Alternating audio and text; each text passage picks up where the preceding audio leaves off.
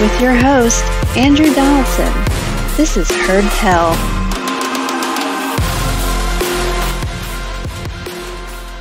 You might have heard that the Derek Chauvin verdict has finally happened. Over a year after the George Floyd killing, we know his fate. The former Minneapolis police officer was sentenced to 22 and a half years in prison. And that might not be all. He's also facing a federal indictment. Now, we all see the national figures and talking heads. They show up for the verdict, and the news coverage will once again be hot and heavy for a topic that seemingly has been going on since the moment the George Floyd videos first came to light. But what's going on locally in Minneapolis? How's it seen there?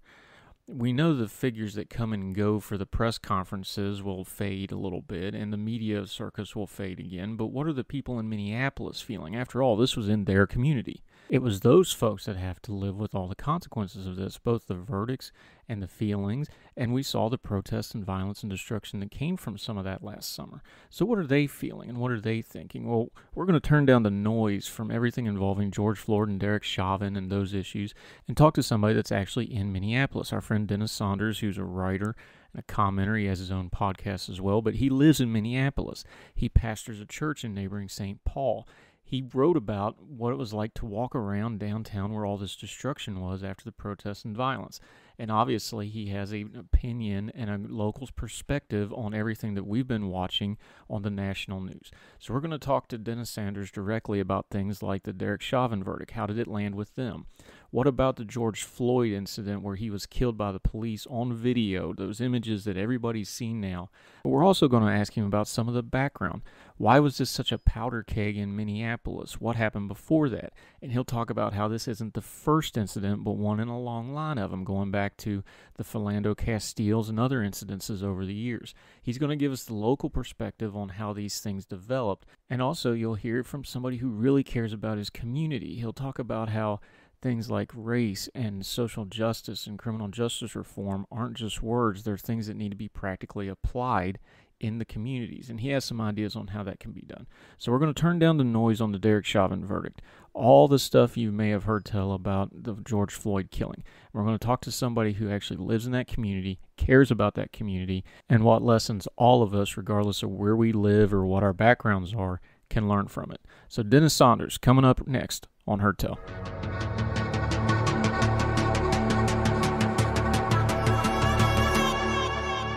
very happy to have somebody whose opinion I greatly respect, somebody's point of view who, although we agree on many things and disagree on others, he comes from it from a very different perspective than me. So I always listen to his opinion very closely. And he's a Minneapolis resident, so he's perfect to go and talk about these issues with the Derek Chauvin verdict. Our friend Dennis Sanders, how are you, my friend? I am doing well. How are you doing? Good. I really appreciate you taking the time. We see the national figures and the political figures, they show up for things like the sentencing verdict. Uh, they all show up at the camera and then they'll dissipate again. It's been a couple of days. You're a Minneapolis resident. You live there. You work in the community. You minister in that community. What is it on the ground, the locals? They've had a couple days to think about it when they've been spending their weekend, when they went to church this morning. How, how is that verdict, Derek Chauvin, 22 and a half years, how is that landing with the people that actually live there? Well, I think that for most people, it's pretty much what people expected. They didn't expect that they were going to get on the low, the lower end, um, which would have been about 22 or 12 years. Um, and I think most people weren't thinking it was going to be 40, um, which is what the prosecution was um, looking for.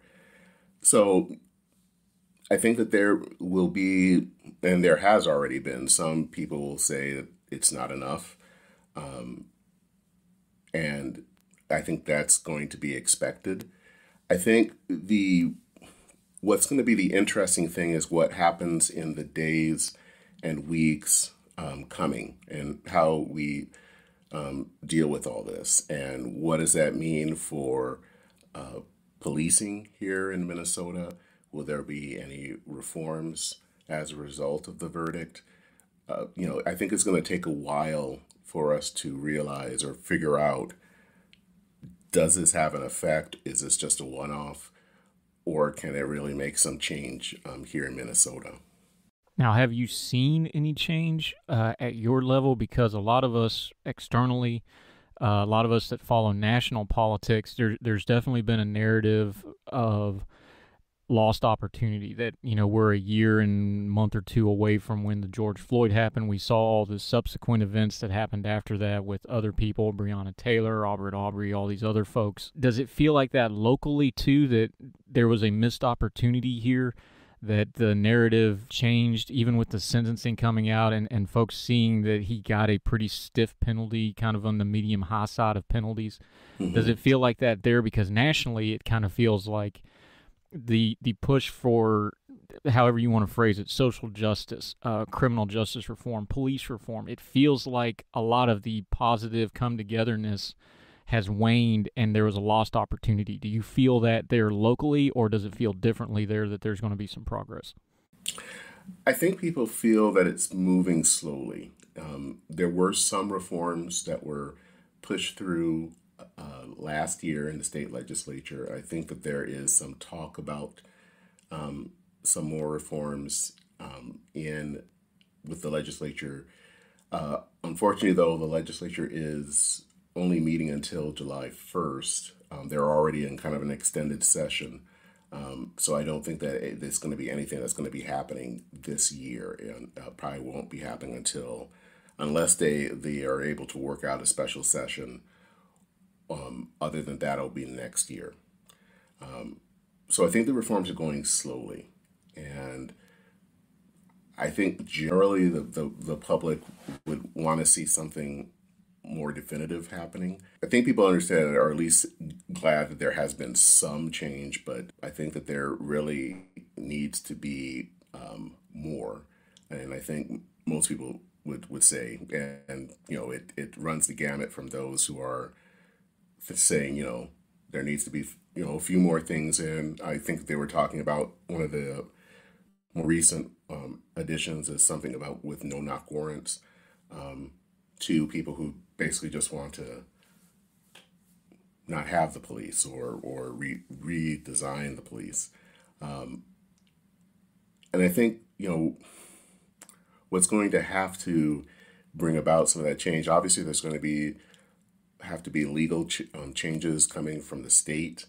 Um, but I think the other part of that is um, police departments in the state are going to have to, um, even of themselves, before, um, regardless of what the state itself does, um, try to reestablish trust. Because I think what has happened is that there is a lot of, of mistrust now about um, the police. Some would say, and I would agree, that there has been a lot of mistrust for years, especially within the African American community. But I think that the murder of George Floyd kind of really put that over, and that trust has to be rebuilt. And, um, you know, obviously laws can um, help with that, but it also has to come from those institutions. And I don't know if that's I think the way that the the um, departments are structured right now makes it really hard for them to change internally. Um, there has been talk about reform within the Minneapolis Police Department for years, and I think people have tried, but there are a lot of other institutional um, roadblocks that make that very hard. Um, especially the police union has has definitely been a major roadblock. So, you know, I think there is a lot more that can be done legislatively, but I also think it's going to have to be um, those police departments that are going to have to really try to establish some trust with the wider community. Tell us because you're you're a Minneapolis person. Give us a little bit of that history, if you would, because we, we know nationally what's going on. We we know all the buzzwords of you know police reform and things like this, but wh- why is that trust broken specifically in Minneapolis? We we understand things don't happen in a vacuum; they happen in a sequence. So, as, as a local, how would you explain it to a national or international audience of here's the sequence of why George Floyd was such a match for the powder keg in this specific, besides just the awful images that everybody could see. What was it to Minneapolis that went, this is an a accumulation to a lot of them? Ooh, if you have a few hours. Um, sure, I get it. I get it, but yeah.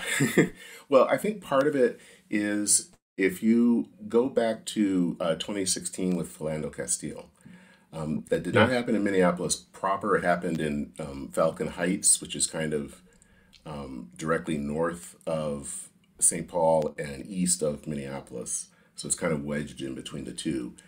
Um, but what a lot of people may have forgotten um, about Philando Castile is that before his being shot, he had been pulled over many, many, many times to the point of, you know, having his license suspended and all of that. And it wasn't because he was someone that was knowingly breaking the law. It was for things, you know, maybe a taillight out. Maybe it was a, for whatever reason. I mean, there were very kind of small reasons, and I think in some cases, no reason. Um, and that had happened over and over and over again. Um, and recently, there was a video um, of these two people. It was on CNN, and it was two people here in the Twin Cities, a black man and a white woman. And he talked about a recent case where he was stopped and dealing with some type of either a warrant for his arrest, and it actually turned out the whole thing was it wasn't him. But I mean, the people, and this was in Richfield, which is um, just immediately south of Minneapolis the um, police came, you know, me basically, you know, in a very nice manner, but still they had the, their guns ready. And so, you know, and again, the end of that day was just, there was, they got the wrong person, but, you know, that could have been another Philando Castile or another George Floyd. And I think the thing that we don't know, people don't know nationally, is that it's been these little things that have happened over the years that have really led to this. And like as you said, it just didn't happen out of come out of nowhere. Uh, and you know, related to that, I think has been the how African Americans kind of make their way in this community. A few years ago, at the Atlantic magazine did this really kind of um, glowing piece about the Twin Cities as a good place to live. And, you know, on some level, they're correct. There are lots of good things here in the Twin Cities to talk about. However, when it comes to the life of African Americans living in the community, it is not so rosy. It can be, it's very hard to find jobs. There are the amount of people uh, of African Americans owning their own homes in the Twin Cities is incredibly low. I remember some of the other percentages when it deals with lifestyle or um, quality of life for people was lower than even that of Mississippi. So there are, these things that have shown that life for African Americans here is not easy and hasn't been easy. Um, you know, this is the place where we kind of talk about, of course, that it is the place where Garrison Keillor gets Lake Wobegon. And I think for a lot of years, many people thought that Minnesota was that kind of a place, that it was a, a small town and um, kind of, as they say, the people are, are, are good looking and the children are above average. But the reality is very different. You know, again, as an African American, I'm not going to say it's a horrible place, but it has more problems sometimes than people are willing to admit. And I think what happened last year really opened people's eyes that there were there were problems that I think the wider community hadn't really paid attention to for years. And so um, what happened with George Floyd was really the result of a lot of different actions, whether it's uh, police stops to just how African Americans have been treated um, in the community to until they got to this point that it was just this was the last straw. Um, to your point, uh, writing in the Atlantic in June of 2020, so this would have been immediately after uh, George Floyd was killed. Uh, Justin Ellis had a piece called Minneapolis Had This Coming. My hometown faces not just a rebuilding, but a reckoning. Well, a reckoning preacher, as you know, the the term means is we're going to establish something. Do you think it's been established now what the problems are in Minneapolis that need to be dealt with going forward? Not just the the police aspect, but the cultural aspect, the lack of trust, the lack of uh, governmental accountability, the way the culture with minority communities and people of color has been changing despite that idyllic veneer that you talked about that's been there in the past. Do you feel like this is a reckoning moment, or do you think that it's going to be more of the same? I don't know. I, I think in some ways it's too early to tell. I think that there has been a lot of talk about things that need to be done one example, I think that there are some steps that I think people are trying to do. Um, I think the the the question is how do you wrap your arms around an issue that is so complex and has so many decades behind it. Um, I think one way of seeing how it may be changing is in the area. The area that I like to follow a lot is transportation. Um, we're kind of slowly putting together our uh, light rail system. Um, we're not at the point of Portland yet, but we're getting there. And um, one of the final lines going in is a um, train that goes from uh, downtown Minneapolis um, to the northwest suburbs. And initially, it was going to go down one route um, that would kind of go through parts of North Minneapolis where I live, but not all of it. And now they are actually scrapping that route and thinking of going down um, two different streets um, uh, Broadway, which is kind of um, the main street in North Minneapolis, and then Lowry Avenue, which is actually a street very close to me. Um, this would put it basically right into the area of North Minneapolis, where I think the majority of, of the city's African Americans live. And as people know, whenever you put in a, a light rail line or any type of dedicated transit line, it's going to change things. And so I think in this case, this is one example with our transit company or transit authority trying to do something maybe to ameliorate or, or make life better. So you know and that's something that they did they started thinking about that very shortly after kind of the unrest happened. So they were quick in trying to do something. And but when it comes to kind of other entities not so much yet. Um, and some of it i think is is just simply inertia some of it is i think we just don't know what to do you know we have to try to do something with schools. Some of the rates for African Americans um, is are pretty low uh, com- in the compared to the rest of the country.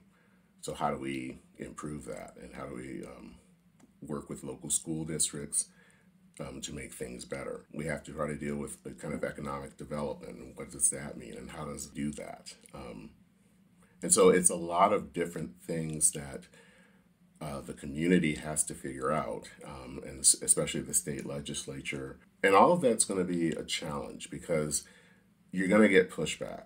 And and I, I, remember last year when we were kind of talking about some of this stuff, um, the way that the state legislature is set up, it's actually split. So the Republicans control one house and the Democrats another house. Um, and it's interesting that the GOP right now doesn't, they want to kind of talk about violence in the Twin Cities, which I think is always interesting because it's kind of like, okay, that is a problem, but are we going to talk about some of these other economic issues facing African Americans? Um, so it's kind of like they're not yet ready to try, to talk about that.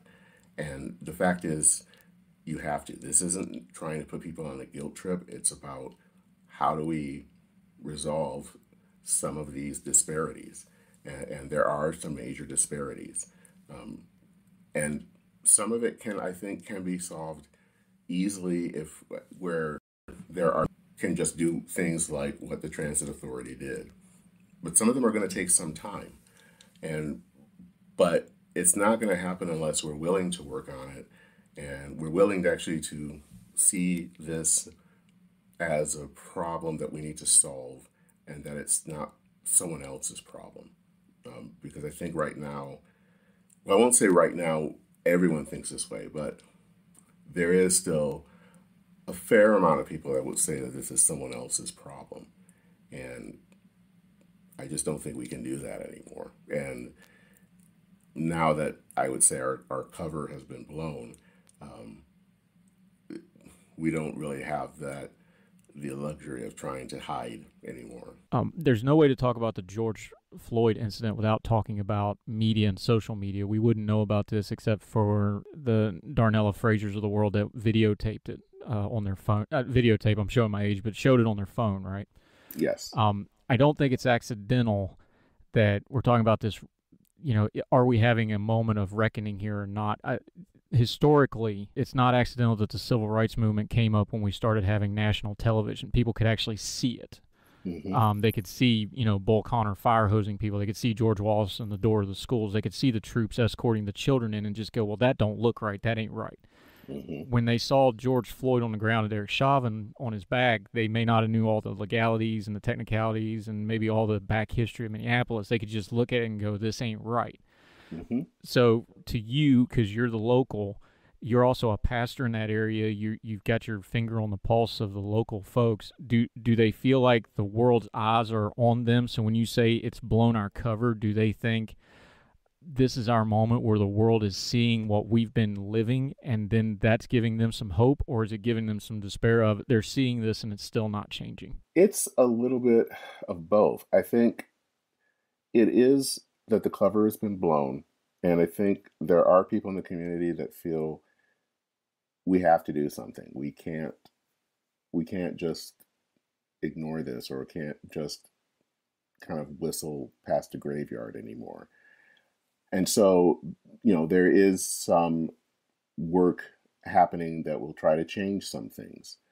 Um, but I think it's going to be slow. Um, none of this happened in a few weeks' time, and it's not going to be solved in a few weeks' time. It, this is probably a generation project, and and so it's going to leave people at times frustrated. And I think you know people, everyone is going to feel at times that it's not moving fast enough.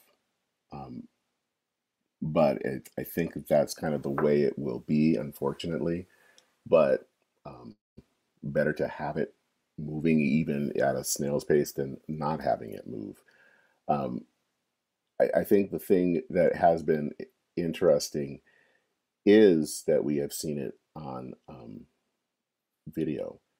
And I, again, I go back to Philando Castile because that was another one that was shown on video.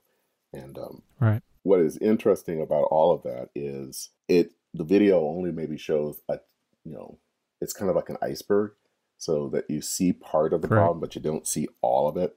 And as I said before about the, all the traffic stops that um, Castile had to deal with before that final one, um, in a lot of ways, that's kind of what we're dealing with here as a community.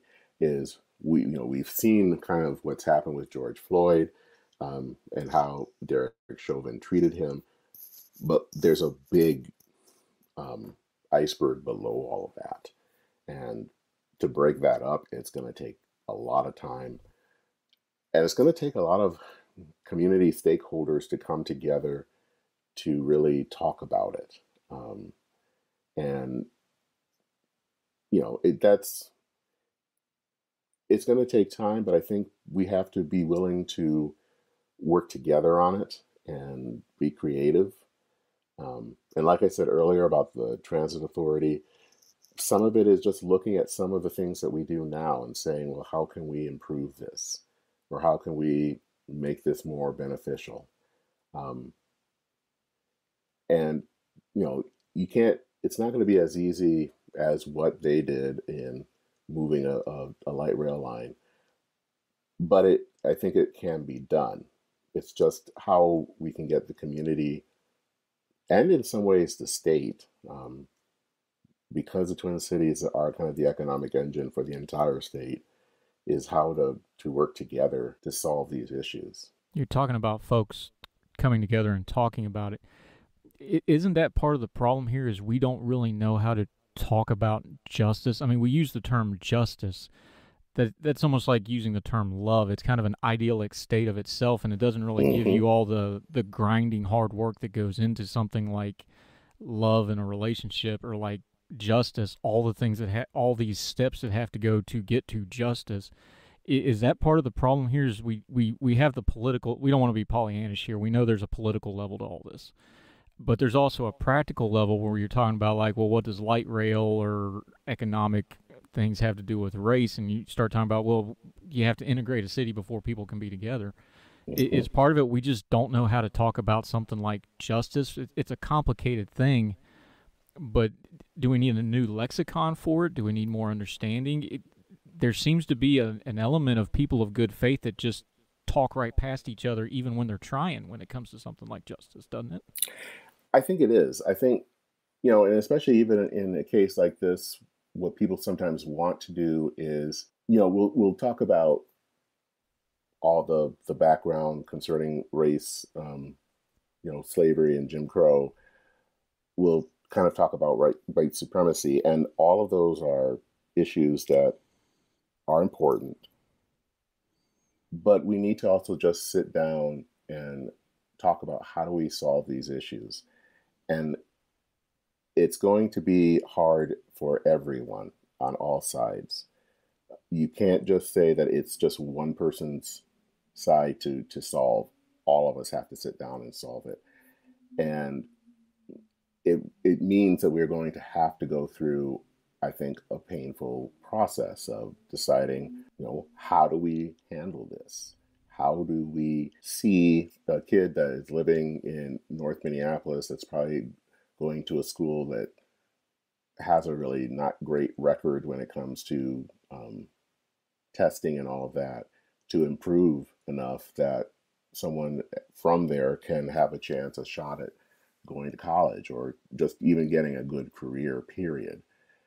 And all of that is not easy um, because it means, and sometimes it, it would, would mean it in, in some cases that you have to give up some things or doing some sacrifice. Um, and sometimes it means to accept blame, and that's hard too because no one wants to no one wants to come around looking like they hate people or something. And I, you know, I don't think that that is always the case that you know i tend to believe that there is some something uh, to the effect of of having racism without racists. And but it's all hard. And i think what we need to do is start the conversation knowing that it's going to take some time knowing that it's not going to be easy and knowing that it's going to be frustrating. But this is one of the things at the end of the day the only way to paint the barn is to paint the barn. And you know kind of get away from the high sounding words, but actually to get down to the nitty gritty. Did you see some of that? Now, we all saw the images of the protests. We saw the things that devolved into riots where things were destroyed, buildings mm-hmm. were burned down, businesses destroyed. A lot of those businesses were minority businesses. Mm-hmm. Um, but did you see some of that when the cameras and the attention went off? Uh, how is the city itself and the people of the city? Did did they come together after that to try to clean it up? Give give folks a little bit of hope here for the people of Minneapolis and St. Paul and the Twin City area that that wasn't the end of the story just because the cameras went off. What happened after that that maybe gives you some hope that people do want that in the future? Well, here's something that was fascinating. Just and this was maybe the Sunday after um, George Floyd's murder. So this was maybe two or three days after some of the worst of the rioting take, had taken place. Okay. And um, my husband and I went down to a um, protest at the state capitol in St. Paul. We were heading back home to Minneapolis, and I wanted to kind of see some of this, um, what was going on. And so we went and drove to Lake and Hiawatha. And for those who don't live in the Twin Cities, that's basically ground zero where the, the rioting happened. Um, that's where the third precinct is. Um, and so we walked around and it looked like one of those pictures that you would see of a bombed out European city after war in, in World War II. Um, you know, you saw buildings that were basically just the facade and that's it. Um, everything else was torched. Um, and so it was just a lot of horrible, unbelievable scenes um, to see. But the sign of hope that I saw, um, there was a place, uh, basically what was the ruins of what was an Arby's. Um, and, you know, there was kind of building rubble and all that. And the community, there were people there that just came, they came with brooms and they were cleaning things up. And it were people from all different backgrounds, all different races and ethnicities coming together to clean it up. Um, and of course, trying to clean up not even a damaged building. I mean, the building was basically, I, as I said, it was just a pile of rubble. Um, to do that wasn't an easy thing, but they were doing it and they were all working together to do that. So that gives me some hope. Um, I think that there are people in the community that they really want to do something. They really want to have Minneapolis and St. Paul live up to at least the, the high minded rhetoric that we claim to live by. And so that gives me some sense of hope.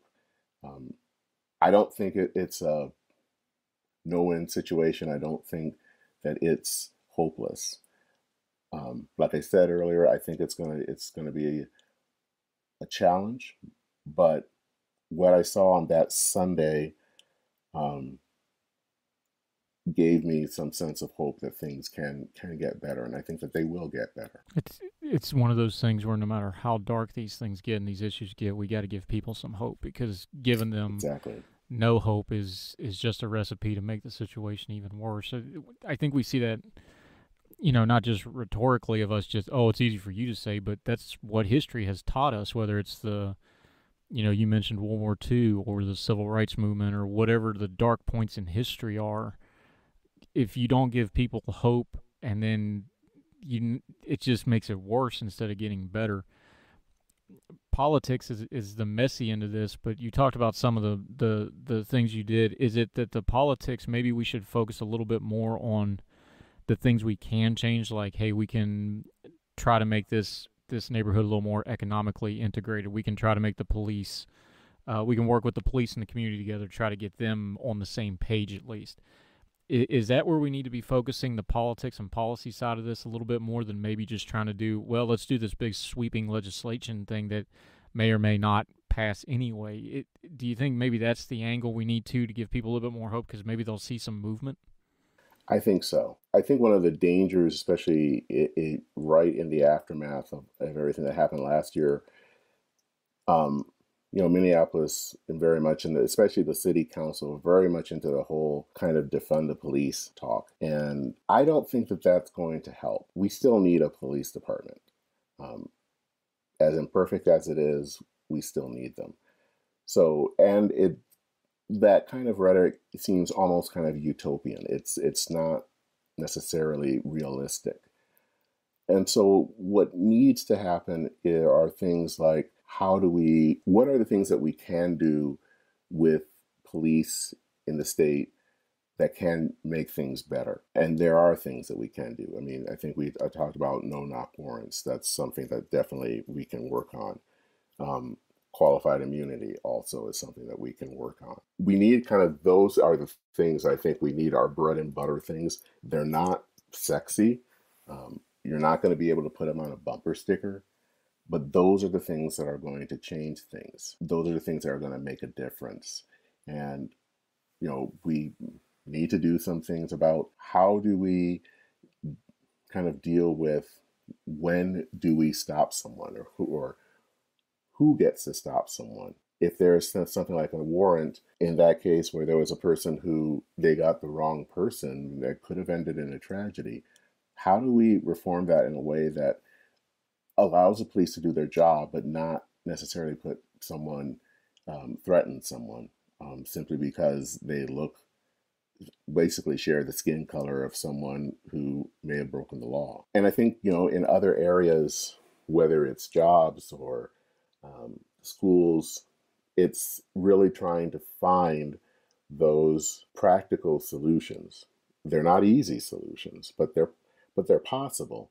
But I think the the the, the danger at the moment right now is to kind of focus on a, on a utopian solution and there is no utopian solution all we have is is what we can do um, to make things better and though things are not easy but i think that they're going to do a lot more than um, believing that defunding the police is going to be the answer. It's a whole nother topic for another day, but I, I think we should have a national conversation about why we quit calling police peace officers. Because I, yes. I think there's I think there's a lot of there's a lot of heft to that term if we take it seriously, but that's another discussion for another day. Uh, my friend Dennis Sanders, you write, uh, you write for us at Ordinary Times. You're at Medium. You have your own podcast. You have other things going on. Tell folks where they can find you and what you have going on because any anytime you read or put out a podcast or something, uh, you're a voice I always listen to very carefully. I value your opinion.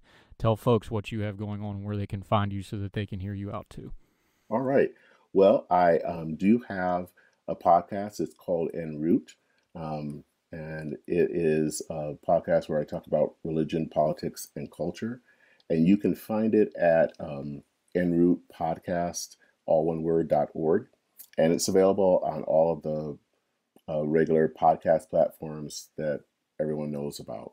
Uh, the other thing is, I do uh, write articles um, for um, at Medium, and um, if you're interested in that, you can go to uh, Dennis Sanders, all one word, dot medium dot com. And uh, finally, if you want to follow me on uh, Twitter, you can uh, follow me at um, Denminn, which is D E N M I N N. And uh, yeah, and then also follow me on um, at Ordinary Times. And we'll definitely have to do a transportation talk at some point because you know my background's actually in transportation. So oh yeah, we'll uh, we'll hammer one of those out in the near future, my friend. But uh, Dennis Sanders, thank you so much for your time today. Thank you for uh, representing uh, Minneapolis, St. Paul, and the Twin Cities to the rest of us, and uh, I appreciate you greatly, my friend. Thank you. It was always it's always great. Thank you, sir.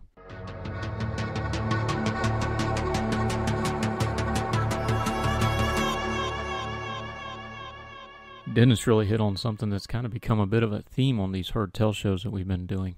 He talked about how Minneapolis's perception in the wider world and how something like the George Floyd killing has, quote, blown its cover. It's true with everybody, though. Social media and things like this do a lot of exposing. It's kind of like money, power, and alcohol. It's just going to show you more of what you really are. And unfortunately, that usually means it's going to show us the problems and things that we need to work on, both as people and as a community or a city or even a nation. So when something like the George Floyd killing happens, yeah, it applies and hits everybody a little bit differently because it's so visceral. When you see that video, almost everyone of good faith looked at that and said something very wrong happened here. And then we had to have a long national conversation about what to do about that. Now, the legal system has had its say, and Derek Chauvin will be spending the most of the rest of his life in prison, probably at least 15 years or so of a 22 and a half year sentence, most legal experts think. And that's before the federal indictment works its way through courts. But that mostly only affects Derek Chauvin and his family. Of course, it's symbolic for everybody else, but that community has to go on today and tomorrow and in the weeks and months ahead. What are they going to do? What are all the rest of us going to do? it's not just confined to Minneapolis. We've seen incident after incident after incident like this in other places.